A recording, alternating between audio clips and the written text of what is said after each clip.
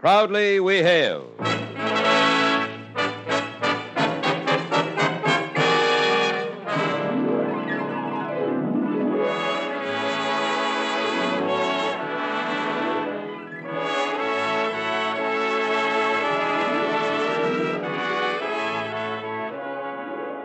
From New York City, where the American stage begins, here is another program with a cast of outstanding players. Public service time has been made available by this station for your Army and your Air Force to bring you this story. As proudly we hail the WAF, Women in the Air Force.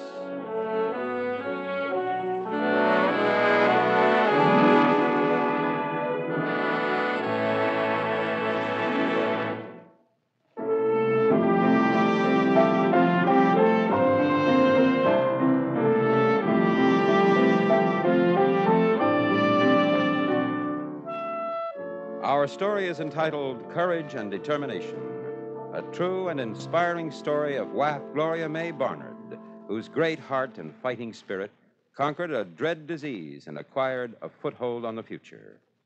Our first act curtain will rise in just a moment, but first, Here's a most important message for young women listening to this radio program. If you are between the ages of 18 and 34 and qualify, you can prove that this is a woman's world, too. How? By enlisting in the WAF, Women in the Air Force. By joining right now when you're needed most and when the opportunities for advancement are greatest, you will be serving your country well and yourself, too. You will have opportunities for some of the finest technical training in the world. Training which will serve you well should you elect to return to civilian life. But most of all, you'll have the inner satisfaction of knowing that you are serving your country when the need is urgent. Do your part in keeping America strong. Visit your local United States Army and United States Air Force recruiting station and enlist in the WAF, Women in the Air Force. Do it now. and now your Army and your Air Force present the proudly we hail production Courage and Determination.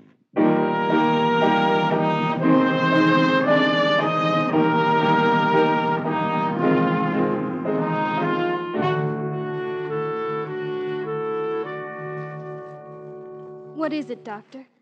Can't you tell me what's wrong? Well, first you must tell me, Gloria, just how your side feels. I don't know. Sort of mm, funny. You're not telling me. I. Well, this, this morning it felt funny. Now there's pain in my whole left side. Hmm? Headache? Upset stomach? What is it, Dr. Phillips? Can't you tell me what's wrong? That was the beginning of this story. A summer in Chagrin Falls, Ohio, 1947. The rest of the story is a matter of record. I have the records here before me. I'm Master Sergeant Mercedes Bagwell, United States Air Force, assigned to WAC and WAF recruiting in Newark, New Jersey. I have a personal interest in the story told in these records.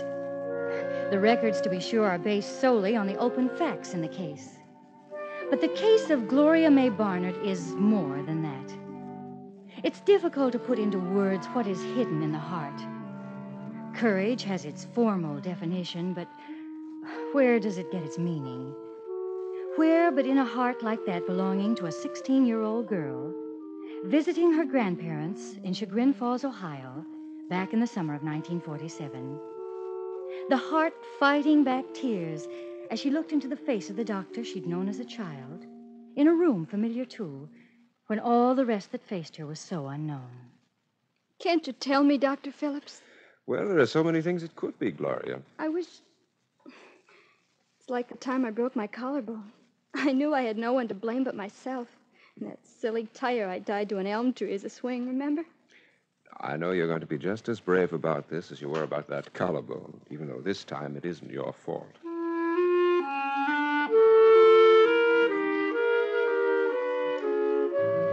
A long distance call followed to the home of Gloria's parents in Madison, New Jersey. Uh, Mrs. Barnard, this is Dr. Phillips. Dr. Phillips? Oh, in Ohio. How are you, Doctor? I'm phoning from your parents' house. They wish me to put through the call. Doctor, what is it? Is something wrong? Is it Gloria? I'm afraid so. Yesterday, I wasn't sure what it was. Her left side merely felt funny, she said. Today? Well, there's a pain in her left side. Her left shoulder, side, and leg are partially paralyzed. Paralyzed? Dr. Phillips, what does that mean? Uh, Mrs. Barnard, even her right knee has a touch of poliomyelitis, infantile paralysis.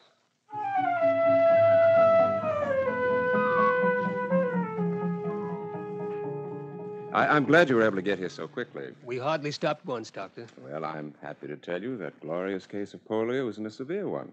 The specialists here at the hospital feel she can be moved within a month. We'd like to have her with us. We can't stay here and be a burden to my husband's parents. Well, unless her case takes a turn for the worse, Gloria will be strong enough in three weeks to go east. That's good news. Uh, she'll still need care, though, and treatment, won't she, Doctor? Oh, she can receive excellent care at the New Jersey Orthopedic Hospital in Orange. Well, that's not so far from home, is it? No, and three weeks isn't so far away either.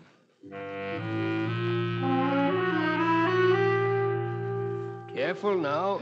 Oh, well, we must carry our patient as though she were made of glass. Wait till you see how your father's fixed up the car. There. Ah. Look inside. Dad, you've made an ambulance out of it. Well, way ahead of the times, if you ask me. Made for lying down or sitting up. They'll be clamoring for it in New Jersey when we drive up in front of the hospital. I'm sure no patient ever was delivered in such fine style. Well, how would you like to start the journey? Lying down or sitting up? Oh, lying down, I think. Then I can have those few hours of sitting up while we pass Lake Erie.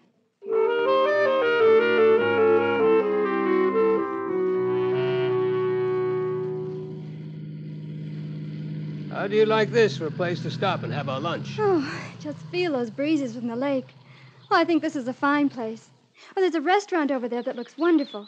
And you two need some time away from the car. I'm sure they have things to take out. Oh, well, I'm not awfully hungry now. And you have your lunch there and bring something back for me, why don't you? But we could all sit on that bench by the lake, darling. Well, suppose I sit there and wait for you. I think I'd like to just look out over the lake for a while.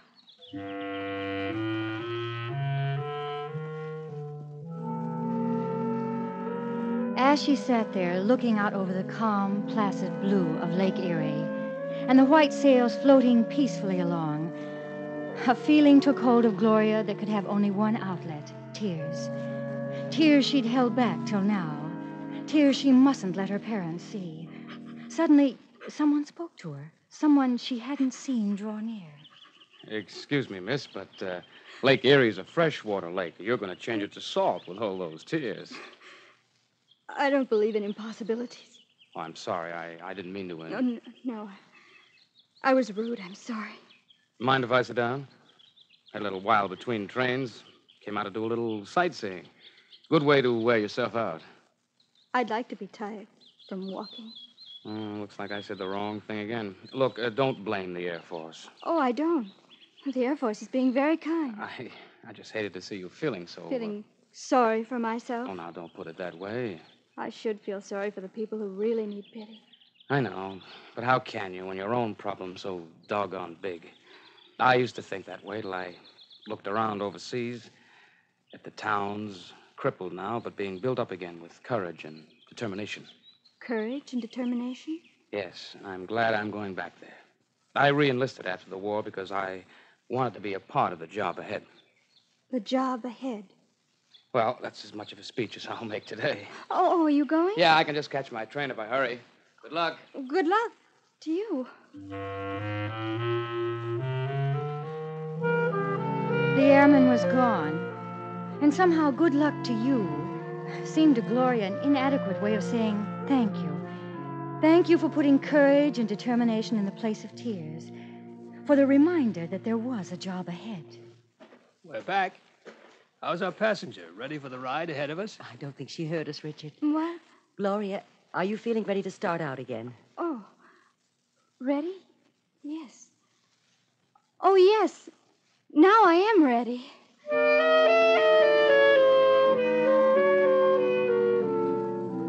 Along the shores of Lake Erie, across Pennsylvania to New Jersey, her father drove slowly, steadily. From her improvised berth in the back of the car, Gloria watched the world pass by the window upside down.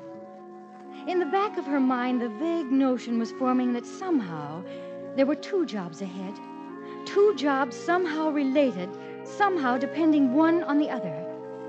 But for now, she only knew what one of them was the job that must be accomplished at the New Jersey Orthopedic Hospital, where, after two weeks, there was progress, sometimes balanced by setbacks. Dad'll be here in a minute, Gloria. Did he stop to talk with the doctor? The doctor said he had something important to tell him. I pretended I didn't know what it was. The doctor is telling him I'm strong enough to walk. Yes.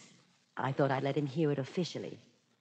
He didn't know about the preview I had yesterday. Oh, well, I only stood up for a moment. It, it was hardly walking. But the doctor said today. I tried moving my leg in bed.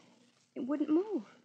I tried again, and Gloria, from where you're sitting on the side of the bed, try sliding down till your feet touch the floor.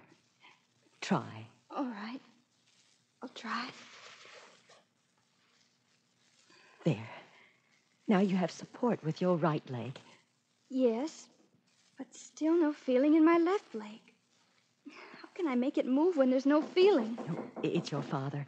Come in. Well, I heard the news. Oh, uh, up already. You know, when you were just this high, I remember standing just about this far away. And that first step you took couldn't have made me any prouder than at this moment. Father, I... You can walk to me, can't you? Uh, of course I can. See? Of course I can.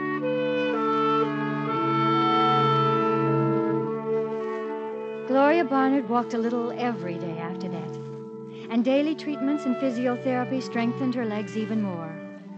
Another seeming setback came in September, on the day Gloria should have been entering her junior year at high school.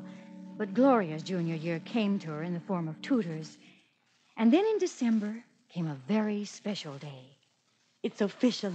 You'll be home in time for Christmas, Gloria. Big job ahead, decorating the tree. And there's another big job. Something connected with being able to walk again. I don't know what, but more and more I know there's something I have to do. I guess that wasn't the first time Gloria's mother and father were to stare at her and wonder just what she meant. She'd like to have known herself, but soon she would know. Christmas was a day of Thanksgiving in the Barnard home that year. Gloria's leg, though still weak, had been spared of any paralysis. New Year's came, and as was their yearly custom, the family had their New Year's Eve candlelight service together. And their prayers were for all polio victims everywhere. And as Gloria thought of that, she realized their prayers were for people everywhere who needed help. People everywhere. In cities everywhere. Cities crippled now, but building again with courage and determination. I re enlisted after the war because I wanted to be a part of the job ahead. The job ahead. I know what it is now. I know what it is I must do. Tell us, Gloria. Tell us, dear. Well, it's all tied in. You see, I have to be strong enough to be accepted in the WAF. The WAF? Yes, the WAF, Women in the Air Force. I have to become strong again so I can be part of the job ahead. The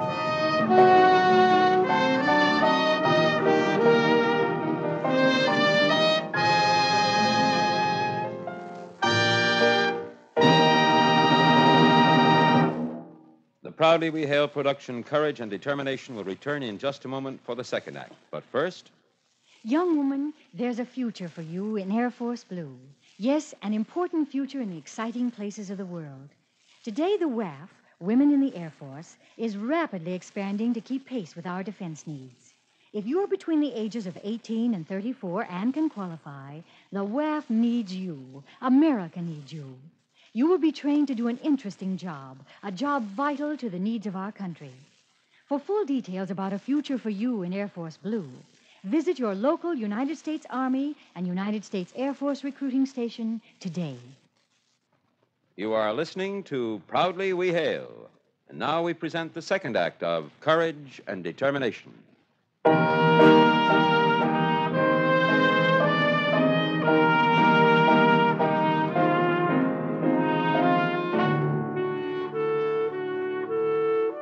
With her work cut out for her, there was little chance for Gloria to brood on the passage of time. From the moment she made her decision to join the WAF, time flew and after another summer, she was able to begin her senior year at high school with the rest of her classmates. Another Christmas, then another New Year. And Gloria knew she could wait no longer, that she must know one way or the other what her chances were of becoming a woman in the Air Force. That was the day the family drove to Newark. That was the day Gloria Barnard walked through the door in my office for the first time. Sergeant Bagwell, I'm Gloria May Barnard. I've come because. I- Because you want to join the women in the Air Force? Yes, Uh, please sit down, won't you, Gloria? thank you. Um, how old are you, Gloria? Funny that should be your question. I thought surely you'd ask me about brace on my leg. Your coming here with that brace on your leg tells me a great deal about the girl I'm talking to. Tells me about your courage. Has the doctor said your leg will get better? Well, he seems to think it will. Maybe by the time you're 18, by the time you've been graduated from high school? He doesn't say. My graduation is in June, and, well, my leg has been about the same for four months now. At first, the improvement was noticeable, then not so much. Now, not at all. That may mean it may never get any better than it is now. You don't know for sure that it won't. I don't know that it will. You fought quite a battle so far. I think you should continue that fight. I'll. I'll try. I'll try, Sergeant Bagwell.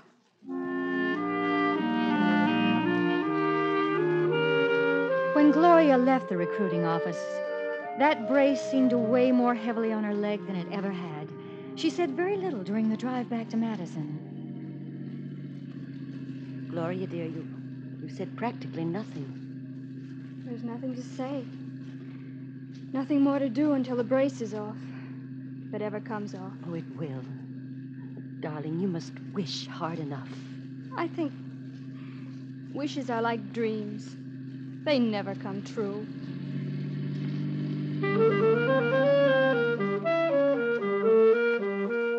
The months passed. The high school graduation day was growing closer.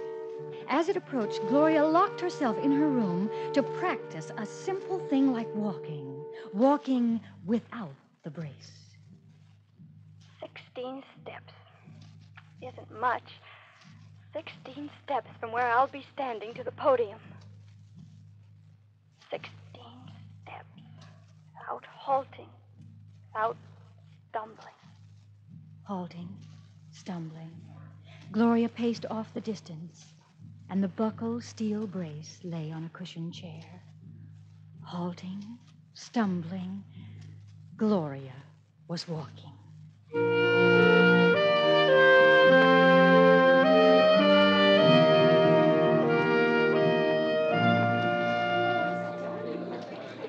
They'll be giving out the diplomas next. I do hope Gloria hasn't exerted herself too much already today. She did seem tired, Evelyn. I, I'd feel better if she had her brace on. No, she wanted so much not to wear it. She's worked so hard for this day. So hard. So very hard. Abbott? First student has his diploma. Abbott? They'll be calling my name soon. Abel? Oh, it's so easy to walk the length of the stage William, and return. Abel? Sixteen steps each way. Adams? Without stumbling. Without George? Oh, halting. Adams? Such a simple thing. Ahern? Can I? Mary Ahern? Strange heaviness in my leg. From Alan? tiredness, I guess. John? Can I walk the length of the stage? Can I? Barnard? Gloria Barnard? My name. My turn.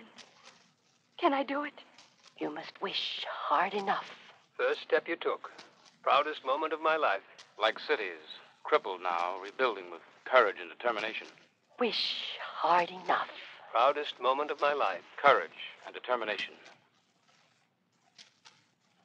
I'm walking. Without stumbling. Without halting. I'm walking up to receive my diploma.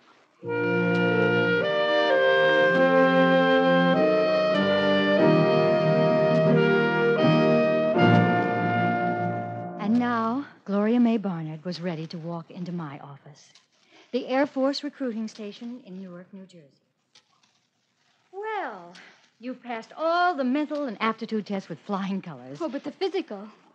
Gloria, I think we've almost convinced the Air Force doctors that your leg is strong enough. Almost. Well, the reports are beginning to look encouraging. At any rate, you see, the file on Gloria Barnard grows heavier every day, full of medical statements, medical opinions. Now the waiting begins. Well, when will we know? Oh, we ought to know in a few weeks. Aren't you planning to spend your vacation in Ohio? Well, we go there every year. I suppose we'll be going again. Then you have a wonderful time. And at this end, we'll be doing everything we can. Now, I have to go out. We'll leave together. Well, you're picking up all my records. I have a trip to make with him to New York. Oh, there are approvals, recommendations, concurrences, opinions to get. You've never seen so many. All in the case of Gloria May Barnard. The summer in Chagrin Falls, Ohio, promised to be like any other summer until a day came unlike any other day Gloria had ever known. I'm afraid to open it. Mother, is this the same Gloria Barnard whose courage is the talk of Madison, New Jersey? Well, the little things take more courage than the big ones. But it's been forwarded AML special delivery. You'll have to open it. I suppose I will.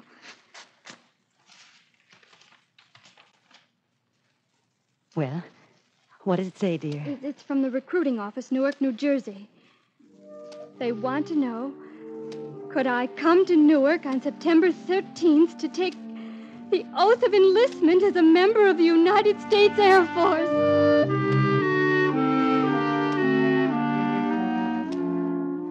Gloria took her 12 weeks of basic training at Lackland Air Force Base in San Antonio, Texas. She looked very smart in her trim blue Air Force uniform, and she finished near the top of her class. Her first assignment was to Lowry Air Force Base in the mile high city of Denver, Colorado. Because she had shown an aptitude for clerical work, Gloria became a clerk in one of the training detachment headquarters. After a year of this work at Lowry, she was sent to Sampson Air Force Base in Geneva, New York, which had been recently opened to meet the training demands of new airmen. At Sampson, Gloria became senior clerk in the headquarters of the instructor school, where airmen with special teaching abilities are taught how to mold recent civilian use into members of the Air Force. Oh, what a day. Say, do you think I can ever get airplane identification over to this class I have? Oh, Bill, all new classes seem a little slow at first. They catch on quick. I guess you're right, Gloria, but let's see if you can tell us the difference between a oh, beach... Oh, I've got work to do. Besides, you've only a couple of minutes to turn in the exams and grades of your morning class. I've got work to do. The job ahead. I like this work here, but I think I can do a better job, one that's just as important. Maybe by telling others about the opportunities for women in the service. And so Gloria took more tests.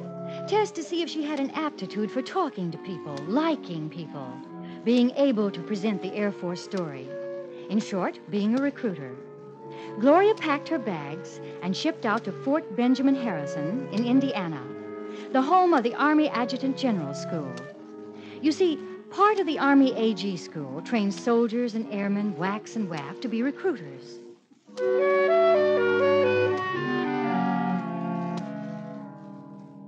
I'm Captain Stiles, your instructor in this course on human relations and how they can help you in your future assignments as women recruiters for the Army and the Air Force.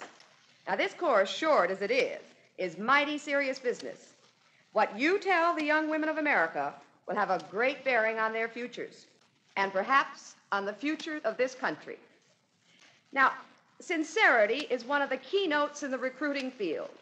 More than anything else, you yourself must want to be a service woman.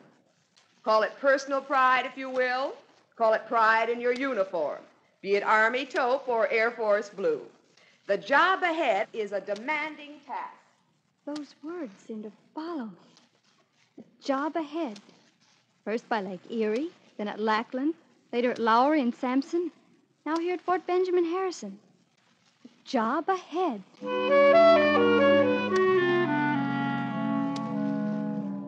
You're Sergeant Bauman, I suppose. Mm-hmm. They told me in Newark that I should report to you. I'm Sergeant Gloria Barnard, fresh from recruiting school. How do you do? I asked for this assignment, Sergeant Bauman. And I want you to know that I'm glad to be a member of the Army and Air Force recruiting station here in Englewood, New Jersey. Uh, uh, what did you say your name was? Gloria Barnard. I'm glad to have you here, Sergeant. We're a small family with a huge territory to cover. Lots of schools, small towns, and we have a program of community activity that keeps us busy a few evenings each week. You like talking with young women? Helping to show them some of the opportunities of service life? Oh, yes, I do. Well, we have an appointment in a couple of days to talk to a group of high school seniors.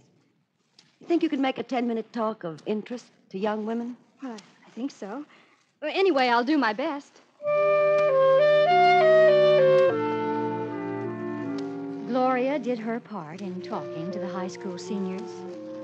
She had the personal enthusiasm needed to give her words deeper meaning.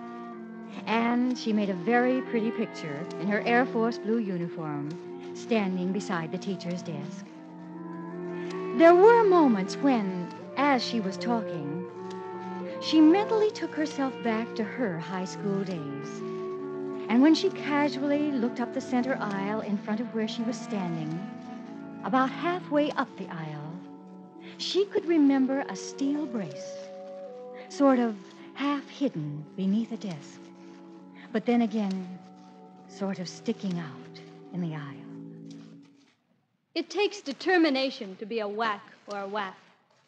Our country needs our help.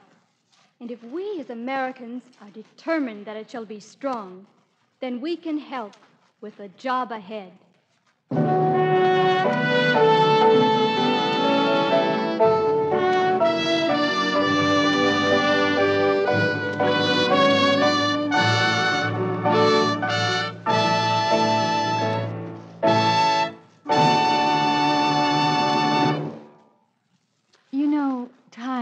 Certainly changed. Why, just a few short years ago, women were completely left out of this man's world. But today, in more and more instances, women are proving that they can assume the role of skilled technicians in positions once thought of as solely for men. Now, a case in point is aviation. Today, in our rapidly expanding Air Force, women are taking their places alongside men as cartographers, control tower operators, cryptographers, and dispatchers.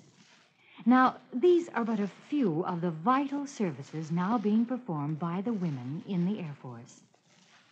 If you are between the ages of 18 and 34 and can qualify, visit your nearest United States Army and United States Air Force recruiting station today. Ask about the WAF, Women in the Air Force. They need you now.